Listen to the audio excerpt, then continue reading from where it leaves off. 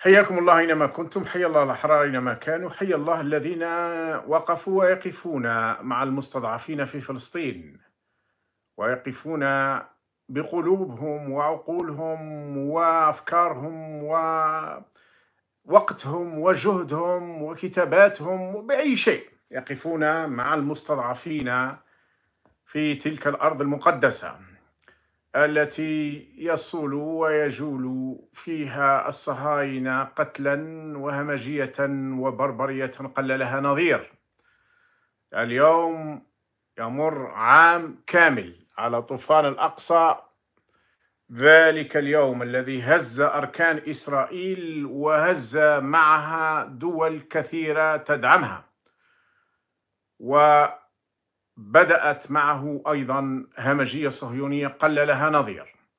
ندخل اليوم إذا ننهي العام الأول وندخل في العام الثاني. لم يكن أحد يتصور. لا أعتقد أن أحد في العالم أجمع بشر يعني. لا أعتقد أنه كان يتصور أن تدوم هذه المعركة التي تزداد شراسة وتزداد همجية وتزداد تعمقا وتمددا لا أعتقد أن بشر كان يعتقد أنها ستدوم سنة كاملة. ولذلك من بين الأسئلة التي تطرح أنها لماذا دامت سنة كاملة؟ وما تزال؟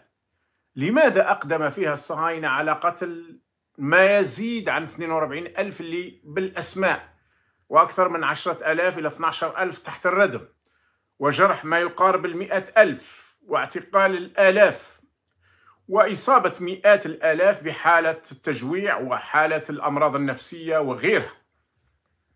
في منطقة جغرافية صغيرة جدا لا تزيد عن ثلث الألف كيلومتر. يعني من أصغر مناطق العالم وأكثرها كثافة في العالم. لماذا ذهب الصهاينة إلى درجة أنهم اعتبروا أن هذا هجوم الذي وقع هو خطر وجودي وذهبوا لعملية تدمير غير مسبوقة. لم يراعوا فيها لا أخلاقا ولا قانونا داخليا ولا دوليا ولا مجتمع دولي ولا مظاهرات عالمية. لماذا ذهبوا إلى هذا الحد؟ سؤال مهم. الحقيقة لأن 7 أكتوبر هز أركانهم. من الجذور. كان ذلك الهجوم طوفان الأقصى هجوما أظهر فيه أولئك المستضعفون المحاصرون المحتلون التي تراقب إسرائيل أجواءهم وبحرهم وحدودهم وما يدخل وما يخرج. تحسب أنفاسهم لم تكن تتوقع إسرائيل إطلاقا لم يكن يتوقع الكيان الصهيوني إطلاقا ولا القوى التي تدعمه الولايات المتحدة أساسا. أن هؤلاء الذين يوجدون في هذا الوضع الذي يكاد يكون غير مسبوق على الأقل في الخمسين سنة الأخيرة لم يوجد شعب بهذه الحالة. كيف لهم أن يقدموا على هجوم على هذا الجيش الذي يعد من أقوى جيوش العالم ولديه إمكانيات تكنولوجية هائلة إضافة إلى أن غزة كانت تحت حراسة إلكترونية حراسة جوية حراسة بالأقمار الصناعية حراسة بالجواسيس في الداخل والخارج. كيف خدعوا هذا الكيان وخدعوا كبار الدول التي تدعمه؟ ولم تكن فقط خديعة إنما كانت بالنسبة إليهم خديعة هزت الأركان وكسرت الردع. فهذا الكيان قائم على تخويف الآخرين على إرعاب الآخرين على إرهاب الآخرين.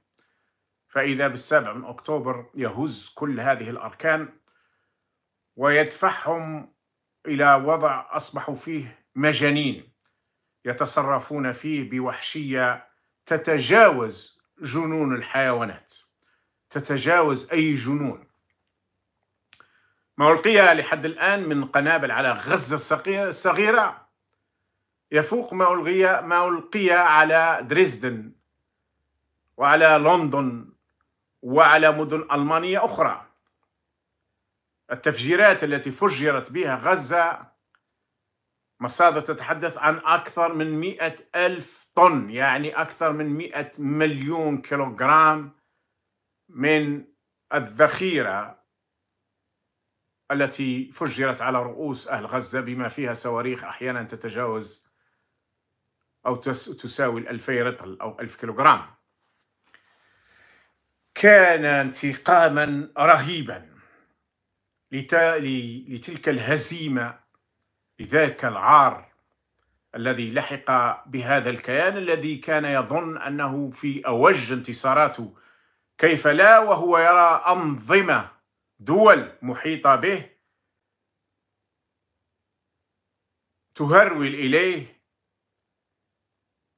خاضعة راكعة تطبع معه في السر والعلن.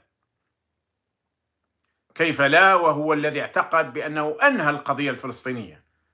كيف لا وهو الذي يرى أن القضية الفلسطينية اختفت من أجندات العالم ومنظمات الدولية والإقليمية. كيف لا؟ وهو يرى أن أكثرية الدول العربية يحكمها صهاينة يدينون له بالولاء خوفا وطمعا رغبا ورهبا.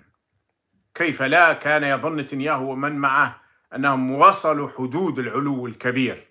فجاء 7 أكتوبر ليعطيه درس لكنه لم يكن درسا طبيعيا. كان درسا في الإذلال في الإهانة في الانكسار.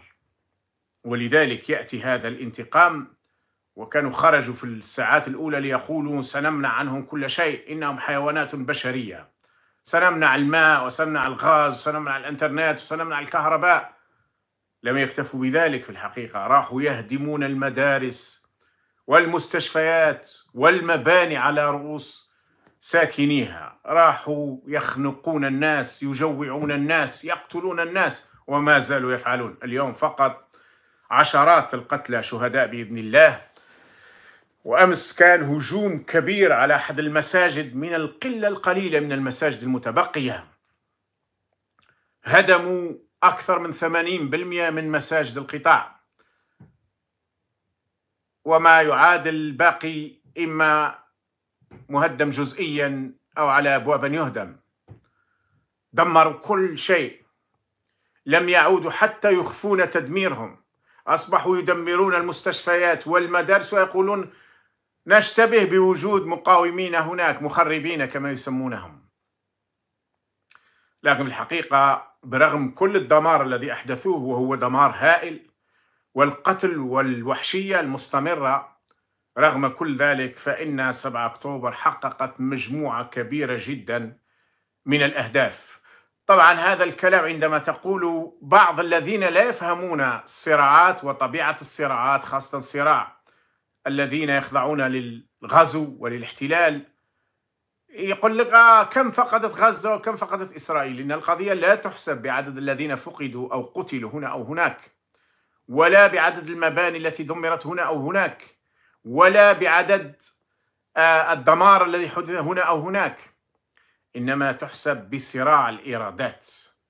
السؤال اليوم هل خرجت مقاومة غزة حاملة الأعلام البيضاء تطلب الصفح؟ أم أنها خرجت اليوم بعد عام كامل تتحدى؟ فقد خرج المتحدث باسمها. يتحدى ويقول سنستمر. لقد قضينا سنة كاملة ونحن نواجه نجاهد نقاوم ونستمر في المقاومة ولقد تعلمنا الكثير ولا زلنا نتعلم وأثخنا فيهم الكثير ولا زلنا نفعل. غزة التي يحاصرها صهاينة اليهود وصهاينة الغرب وصهاينة العرب. كلما أتذكر شعوب أخرى خاضت معارك التحرير خاضت ثورات لتتحرر مثل الفيتنام أو مثل الجزائر وشعوب أخرى أيضا.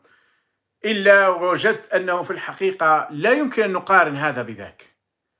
فالفيتنام مثلا كانت تدعمها إمبراطوريتين الإمبراطورية الصينية والإمبراطورية السوفيتية ودول أخرى محيطة بها. كان يأتيها السلاح من كل جانب بل يأتوهم حتى الرجال.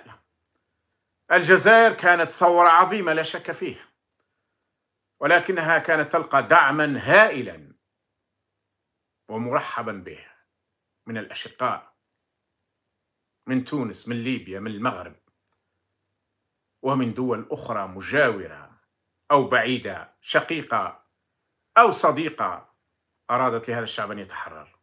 غزة اليوم محاصرة. لا يحاصرها العدو فقط. لا تحاصرها الإمبراطورية الأمريكية فقط.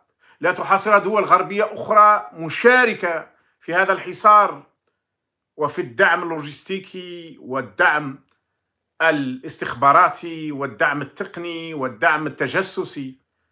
بل أكثر من ذلك إن الذين يفترضون أنهم أشقاؤهم خاصة في مصر ولكن أيضا في السعودية والإمارات والأردن لنذكر هؤلاء فقط هؤلاء يتآمرون عليهم.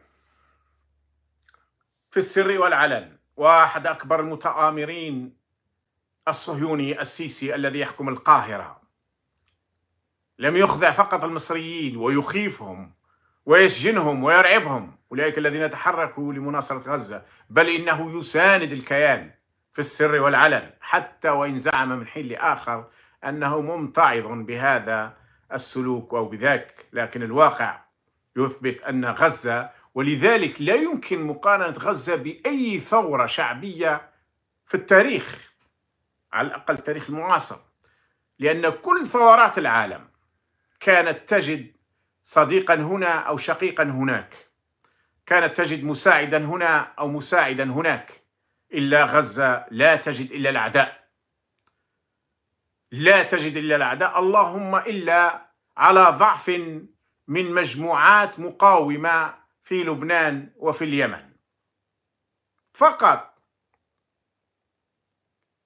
ومع ذلك فإن حتى هذه المجموعات تدفع ثمن وتدفع ثمن كبير الآن. أما الدول أما الأنظمة القائمة فأفضلهم من يخرج بخطاب أردوغان أو حكام إيران. أما الباقي فهم بين الجبن والخداع والمكر والتواطؤ والتآمر وأحيانا العلني سنرى أحد هذه البلدان يقاتل مع الصهاينة. طبعا المعلومة خرجت خطأ لكن كنا ندرك نعي يقينا أن دويلة الإمارات تقوم بمساعدة كبيرة جدا. الآن نكتشف أنها مساعدة حتى عسكرية